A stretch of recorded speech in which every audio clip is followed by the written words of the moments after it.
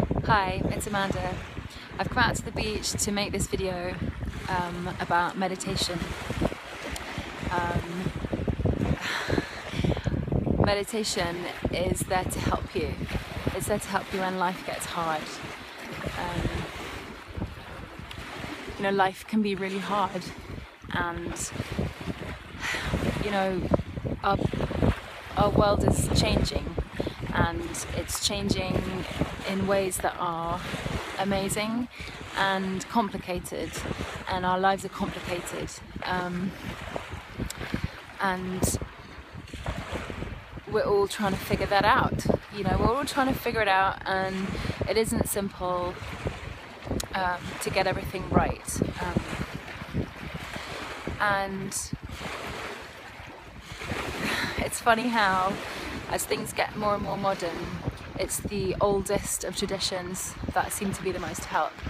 And meditation is certainly one of them.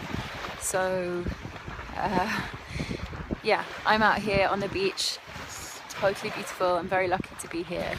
Um, and I'm going to do my 10 minutes, and that's it of meditation. You know, sometimes I do longer, but really, if I can grab 10 minutes at the end of the day, that changes my life. So that's what I'm going to do. Um, mindfulness meditation helps because you are creating a gap inside your mind between the thoughts that are constantly there that can dictate your world and overtake your reality they become your reality you know your thoughts can be completely become your reality and um, by sitting with them, focusing on your breath, and just watching your thoughts go by like clouds. You know, you you just let them go by. You can name them, you can label them like, oh right, I'm thinking about so and so, or okay, that's a fear, or okay, that's a worry. You can just spot them and then let them go without going with them. You know, as soon as you recognize your thought, you just let it go. Tell yourself you don't need it for this moment. You can come back to it. If you need it, you come back to it. But for this moment, you're teaching yourself how to let it go and how to simply sit with the awareness of your breath. Um, sometimes you can sit with the awareness of the sounds around you. When I'm on the beach here, I like to listen to these sounds. Um, and it, it takes me away.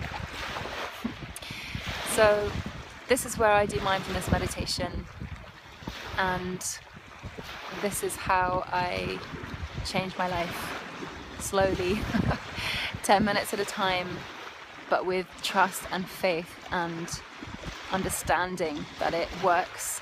It's at a deep level. It's proven with Western science now, you know, it's all over the place. Mindfulness, mindfulness, mindfulness um, but don't take it for granted. There's almost an anti mindfulness kind of vibe these days because it's become too much of a buzzword. But mindfulness and meditation has lasted for thousands of years. It's not going away, it's powerful, and give it a try. you don't have to be sitting on a lovely beach, you can just be at home. Close your eyes, listen to your thoughts, don't follow them follow your breath. I wish you the best with it.